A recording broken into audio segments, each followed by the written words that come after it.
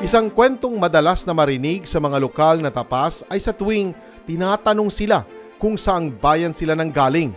Nahihiya silang sabihin na sila'y taga-tapas. Ngunit ngayon, taas noon na nilang may pagmamalaki ang kanilang pinagmulang bayan. Ito ay dahil na rin sa transformasyong naganap sa tapas sa mga nakalipas na taon. Unang patunay dito ang bago nilang government center mas pinaganda rin ang kanilang public market, bagong transport terminal, habang tuloy-tuloy din ang konstruksyon ng iba pang mahalagang pasilidad, tanda ng unti-unting pagunlad ng bayang minsang napagkaitan ng oportunidad. Sa likod ng sunod-sunod na transformasyon ng tapas, malaki ang pasasalamat ni Mayor Nonong Palumar sa patuloy na pag-agapay ng national government sa kahilingan ng kanilang bayan. Katunayan, anim na barangay sa tapas ang makatatanggap ng tigda 20 milyong piso mula sa Barangay Development Program ng NTF-LCAP.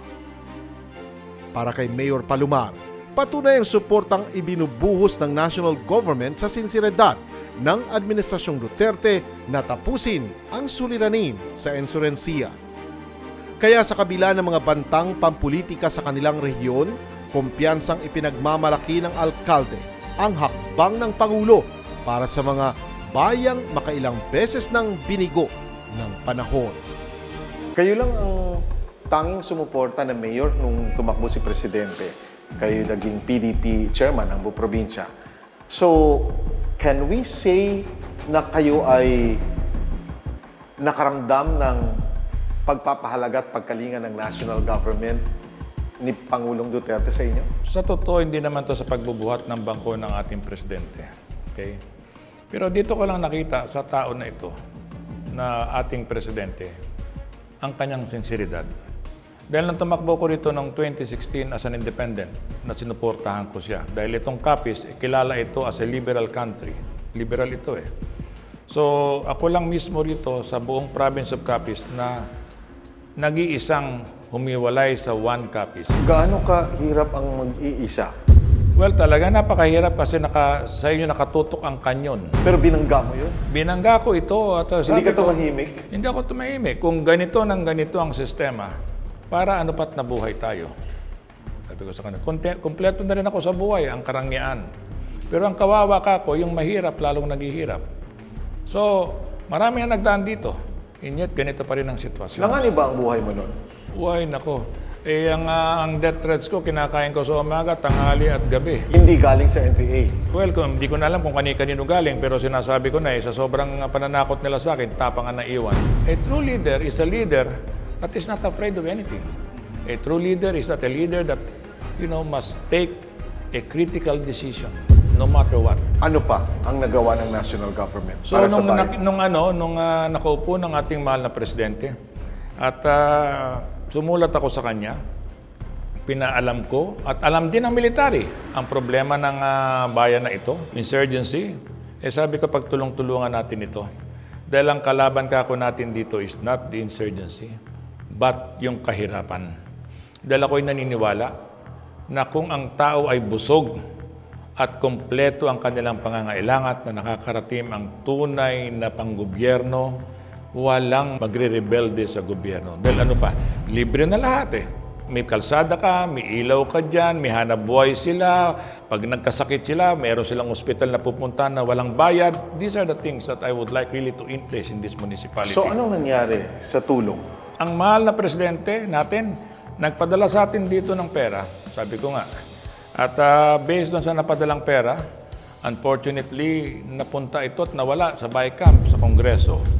So, nakarating na rin ito at alam na rin ito ng karamihan. That's why yung ah, kinagagalit ko rito, yung district engineer dito na napakatagal na, hindi malang nakita yung problema namin dito sa Tapas na walang kalsado yung upland barangays. How, how much did the president give?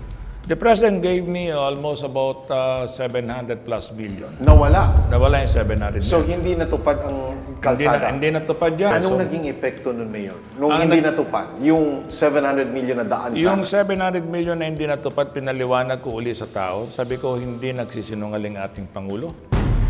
Binigay yan, but unfortunately, pagdating sa Kongreso, nawala at napunta sa iba. Nung huling meeting namin kay Presidente nung ah, September 28 o 29, Okay. ni-reiterate ko ulit sa kanya to, Mr. President. Maraming salamat po, sabi ko sa tulong mo, kasi nagpatawag siya ng meeting sa amin. Limited lang ang pinatawag niya, yung ilang ah, si- ilang ah, gobernador at ilang congress congressman. At ako lang yata nag-isang mayor doon na pinatawag niya. So sinabi ko sa kanya ang problema ng tapas. At sinabi ng presidente, hahanapan ulit kita ng pera. Okay.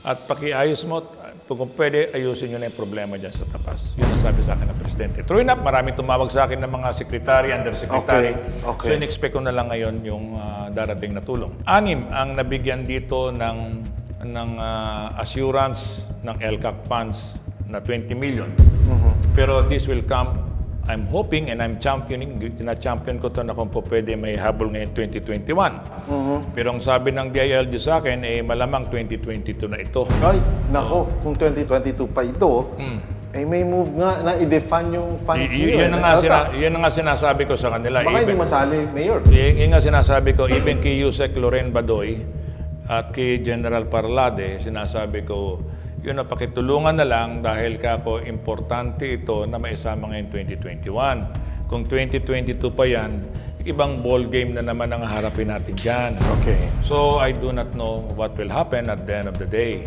But as far as we are concerned, we have done our part. We have done everything to consolidate and to prepare yung lahat ng kailangan. We, we, we already did prepare yung lahat ng kailangan nila.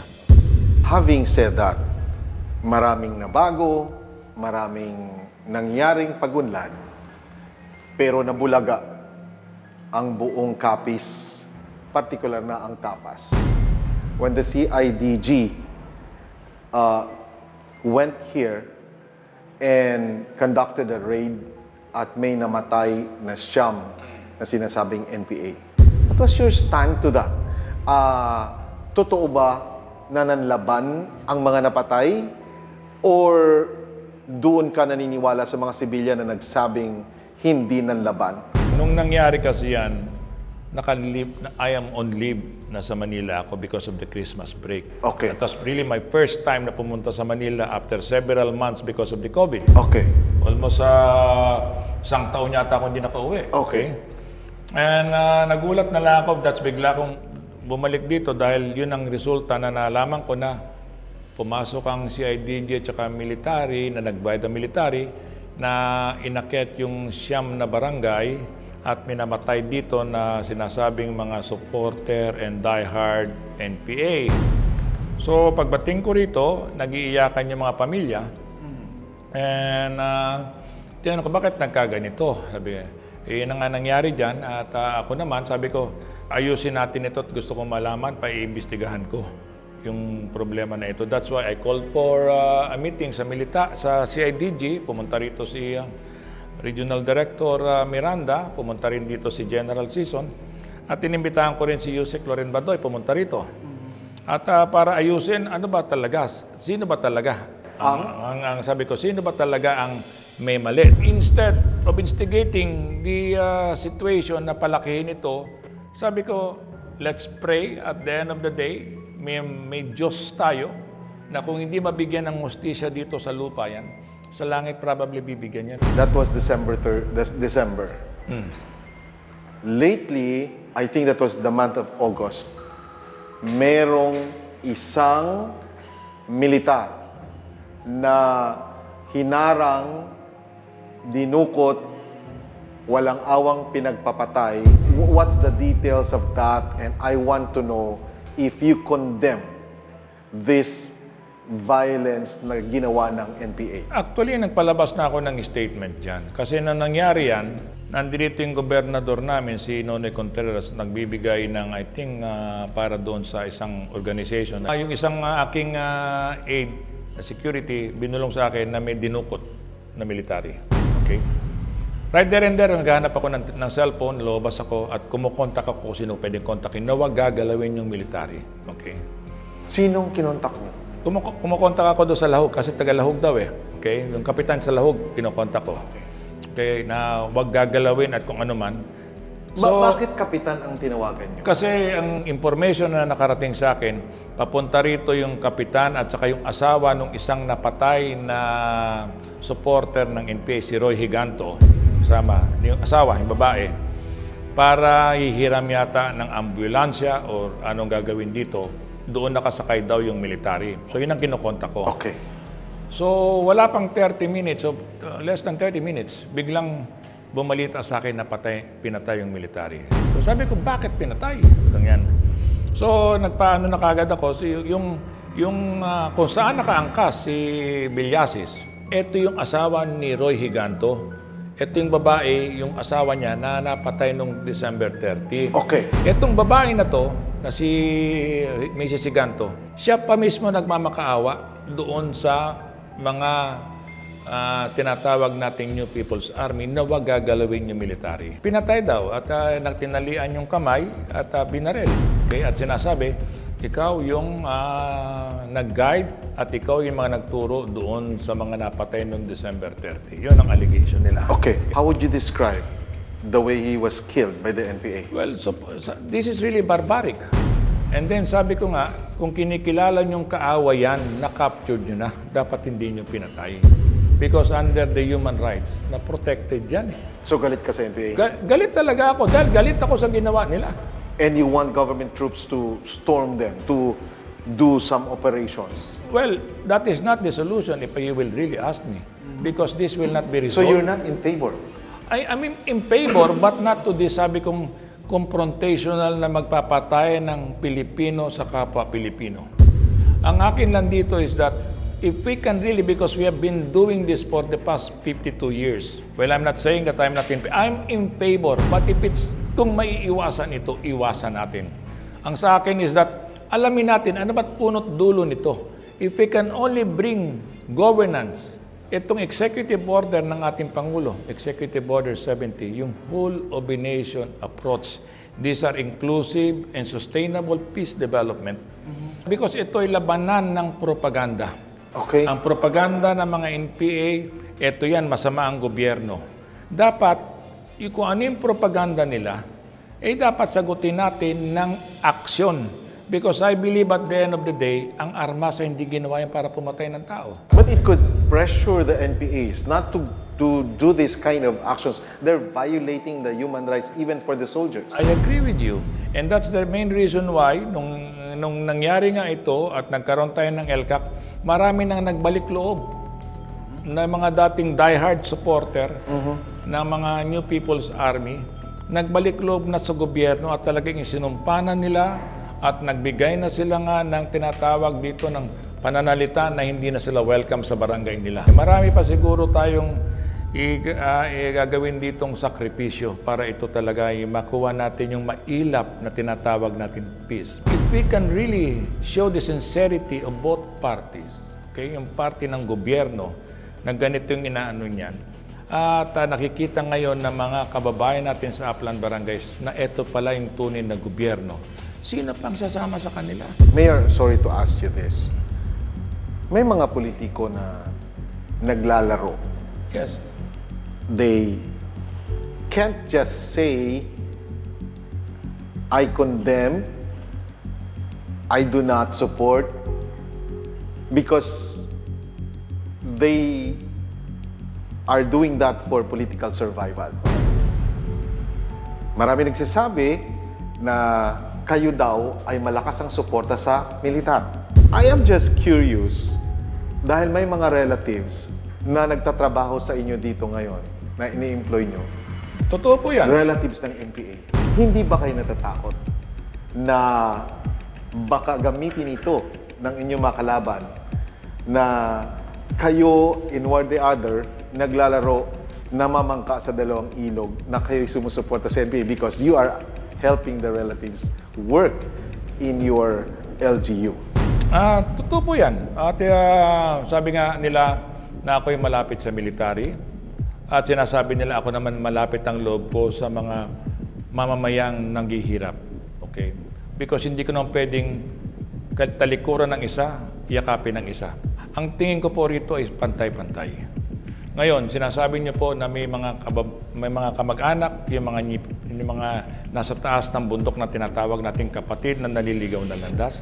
Totoo 'yan because kung pababayaan ko itong mga mga kamag-anak nila na walang hanap buhay, saan ito pupunta? Kasama sa kanila. So, so ang sa akin is that kinukuha ko ito, pinagtatrabaho ko rito, may output sila, marangal ang kanilang hanap buhay. Hindi ko iniisip na magiging espiya sila dito dahil wala naman silang i-espiya on the first place. Anong espiya nila rito sa akin at ano espiya nila sa kanilang pinagtatrabahuan. Gusto ko makarating yan sa kanilang mga kamag-anak na itong panggobyerno na ito ay tunay ng gobyerno na hindi namimili. Kahanga-hanga po ang inyong posisyon. Kayo po ay sumusuporta sa militar. Ano kaya ang kulang pa na suporta ng militar sa inyo? na especially nagkaroon tayo ng community support program. Okay? Nagpadala tayo ng mga military sa taas ng bundok. These are our ambassador of peace. Tutulong yan sa inyo. At kung anong problema nyo, sabihin nyo sa kanila. Yung sinasabi ko sa iyo kayo ng lahog, ngayon para sila magkakapatid. Na dati mailap na mailap na isang barangay ay ngayon nagsasama-sama ang military at saka ang mga ah, mga mamayan dyan sa barangay na yan at iba pang barangay. At ngayon, pag nakita nilang ganun pala, yayakapin yan ng buong barangay.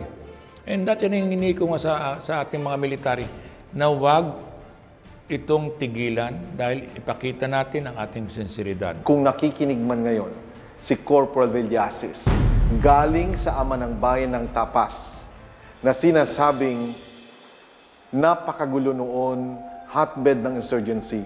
Ano ang masasabi mo at mensahe kay Corporal Villasis? Sa akin, para siyang isang bayani. Isang bayani. Nung kanyang libing, pumunta ako sa kanilang may sa bahay nila diyan sa Sigma. Kausap ko yung asawa. At yung mga, ako'y naawa dahil maliliit pa yung mga anak. Did you cry? Sa loob ko, yes. Why? Dahil, you can just imagine, na itong maliliit na bata na ito, lalaki na walang ama. For what? Anong dahilan na bakit ang mga batang ito lalaki na walang ama? Yung asawa, na nag asawang babae na naghihintay sa bahay, gaano katagal niya itong iisip-isipin na wala na siyang asawa? So, hindi mo to pwedeng bayaran ng pera. Ah, sabi ko nga, na tinulungan namin ito at sabi ko, yung iyong anak gagawin naming scholar at tutulungan ko yan hanggang makatapos. Sabi ko doon sa ano, sa asawang babae.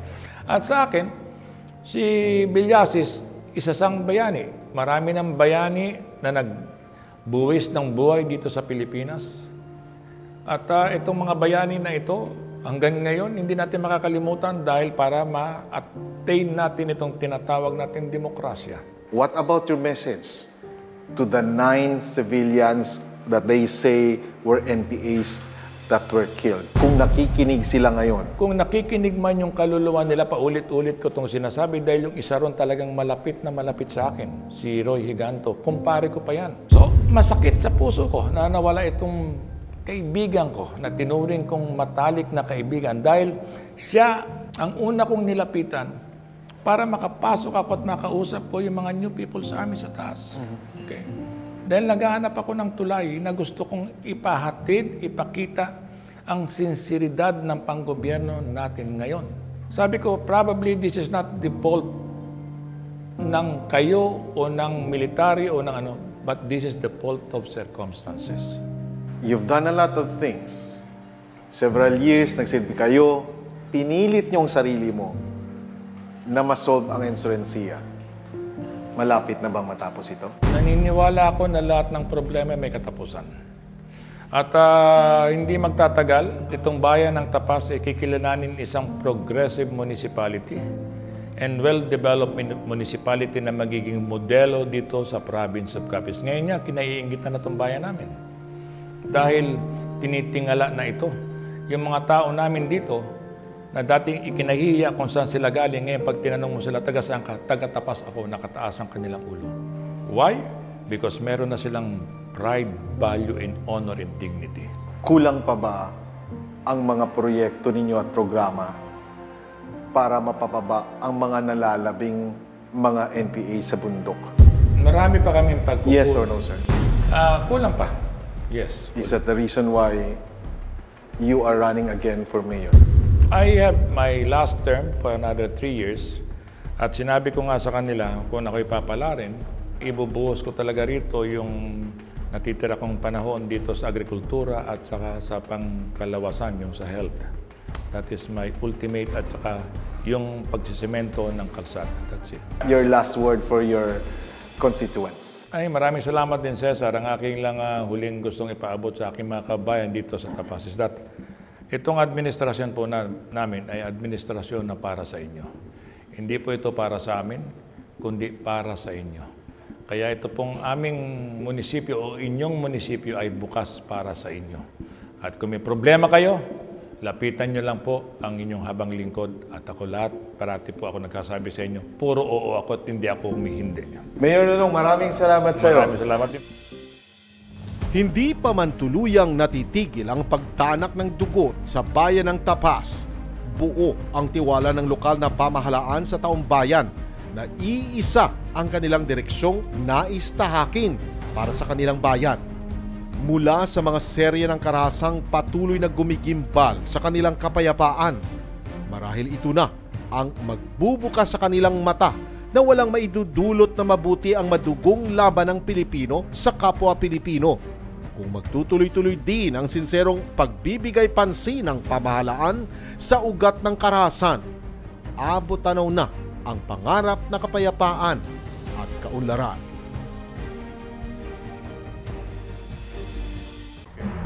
Magandang gabi, Pilipinas!